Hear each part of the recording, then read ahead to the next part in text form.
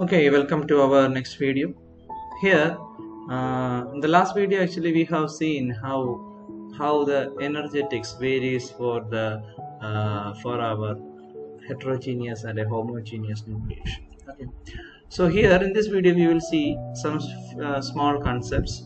The first one is uh, the primary and secondary nucleation. Okay. Primary nucleation refers to the uh, to the first nucleus the very first nucleus uh, which forms.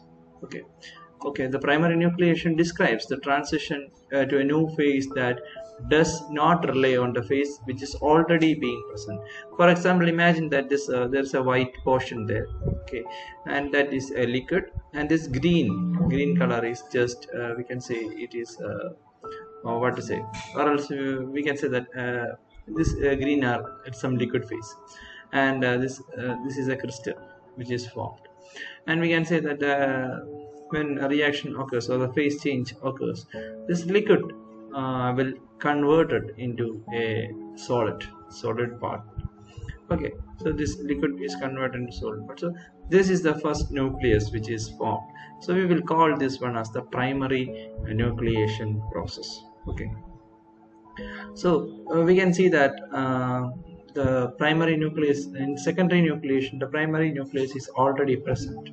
And uh, what will happen is that the uh, this molecules the water molecules or the liquid molecules will just come and sit on the on the primary nucleus and they will join together the primary molecules uh, primary nucleation uh, and or the primary nucleus. And uh, the further other secondary nuclei will be formed. So uh, the secondary nuclei are the crystals. Nuclei produced from a pre-existing crystal okay? This one of the crystal which is already formed. So such a process is known as the uh, secondary nucleation. So secondary nucleation relies on the crystal which is already being present inside the phase okay? So the primary but the primary nucleation is just a fresh one or it is the which it is the one which is spontaneously formed from the primary. Okay. Now let us see the classical nucleation theory. So actually this this is a uh, this part consists of uh, needs very deep explanation. But uh, for the time being i am just uh, going in a surface level just just describing the equation fundamental equation which uh, which is the basis of the classical nucleation theory. So i'm not going much uh, into the deep. Okay. So the classical nucleation theory is the most common theoretical model which is used to quantitatively study the kinetics of any nucleation. Okay. So how fast uh, the crystals will be developed in any particular uh, fluid. So uh, such information is uh, is taken from the uh, from the classical nucleation theory or CNT we will call it, it is CNT okay so the time to the nucleate uh, can vary in the orders of the magnitude. It can vary but by some rate and uh, the, this actually consists of a framework uh, which is based on the kinetic and the thermodynamic parameters. Okay. In fact this uh, is a figure which represents the classical nucleation theory. Uh, so it is taken from this journal. Okay. You can also just uh, see it. Um, if you need you can refer this particular journal uh, if you are much interested. So like it is saying that a super cooled droplet or a nucleus which is formed and initial nucleus formed and after that it progress the nucleation just progress. And this rate can be calculated with the help of the CNT and we can see that the ice crystals okay ice crystals will be formed uh, from this uh, nucleus. So this is all what uh, the classical nucleation theory is about uh, so for the exam point of view just understand this equation or keep this equation in the mind. Uh, i will i will explain this thing. So r r is equal to ns zj exponential of minus delta g by kbt and here r is the rate of the nucleation which we used to calculate. Okay. Uh, which is the output or we we will find the rate of any nucleation process happening in any particular uh, fluid. Ns is the number of uh, nucleation uh, sites and we will we will see uh, the kb. Kb and you all know that it's a boltzmann constant and uh, t is the absolute temperature.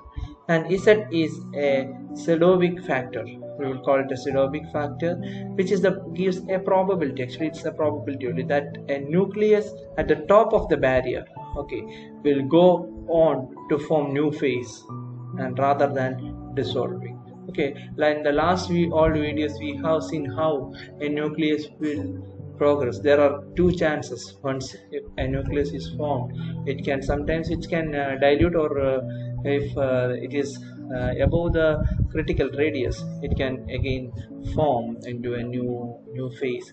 So such informations we will uh, get it from here. So this uh, is a is a probability uh, which measures uh, those things. And uh, we have delta g star uh, which we have discussed earlier. It is the gibbs free energy. Oh okay so it's a gibbs free energy we can say that it's uh, available energy which is used uh, in any chemical reactions. Okay. Which uh, indicates that uh, if the gibbs free energy indicates the available energy of a substance which can be used for the chemical reaction. Okay. So those uh, substances which have the less gibbs free energy tend to transform easily to other substance that is the physical uh, significance or physical significance of gibbs free energy okay? Whenever a gibbs free energy is there you need to evaluate that. And in the physical sense you need to identify if, the gibbs free energy is less then we can understand that it will easily it will move move to next phase. Okay so this is the equation uh, of the delta g where delta H is the enthalpy change and delta s is the change in entropy.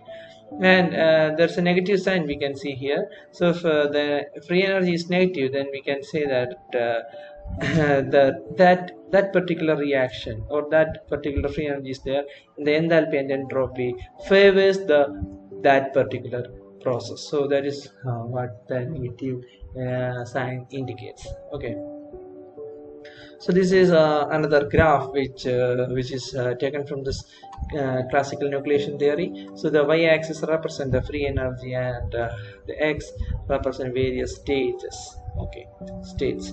So here we can see that initially it will come and it will initially it will form a small state uh, which we will think it is a stable state but it is not in fact it is not a uh, not a stable state. It is a just we will call it as a metastable state that will lies uh, for a short period.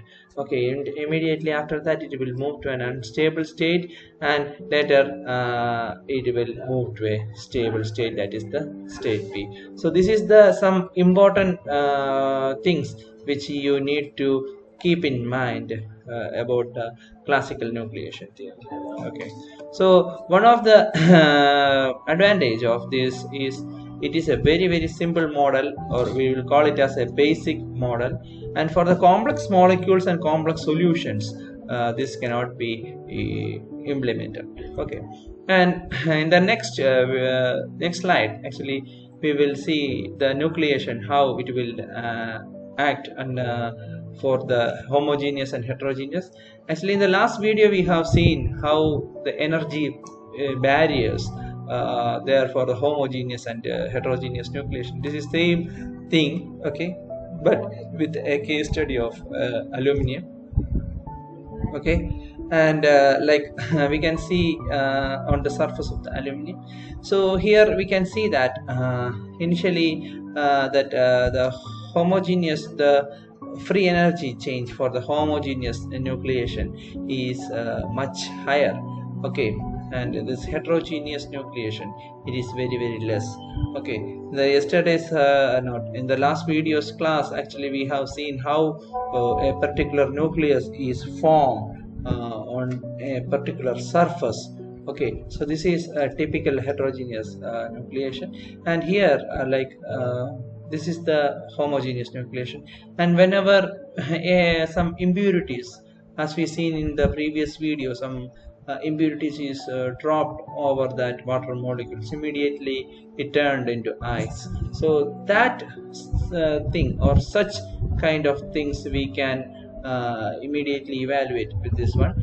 And what happen is that whenever a foreign particles is introduced okay this uh, free energy this gibbs free energy for the solution or that phase or that particular substance will immediately drop down. So it will turn into a heterogeneous nucleation. That this is the thing which you need to interpret from this figure. Okay. This much for the heterogeneous nucleation and this much for the uh, sorry this much for the homogeneous nucleation this one for the heterogeneous nucleation. As the impurities uh, is increased so the uh, free energy the delta G gibbs free energy will continuously decrease.